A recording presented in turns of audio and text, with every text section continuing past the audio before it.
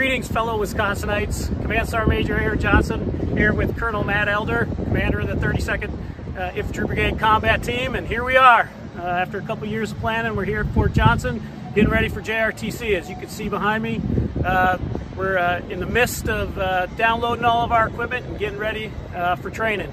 So I just want to say a quick shout out to the families and to the employers of soldiers uh, you know, from Wisconsin and from the 23 other states that are here supporting us.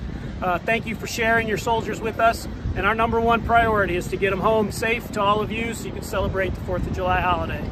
Sir? Thanks, CSM. Um, yep, good afternoon from Fort Johnson to all the family and friends out there of the Red Arrow. Almost two years in the making, uh, we've been planning and preparing for this major training event. We have thousands and thousands of pieces of equipment, thousands of soldiers here on the ground. And it's going to be one of the most, the most influential and one of the best training experiences of their careers. So we appreciate all the support from family and friends across the state, and as the CSM said, across the nation. And hope to see you all soon.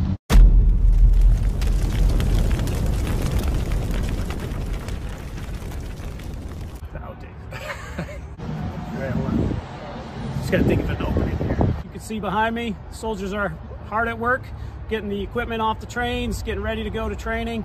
Uh, Put that part in there. I lost my train of thought now. I gotta start over. I'm just making and uh I had it. I had it all planned out. Soldiers are working on it. Damn it, I did too. Get Where's ready. our script? we just go with the first take? Are you sure you want to do this again?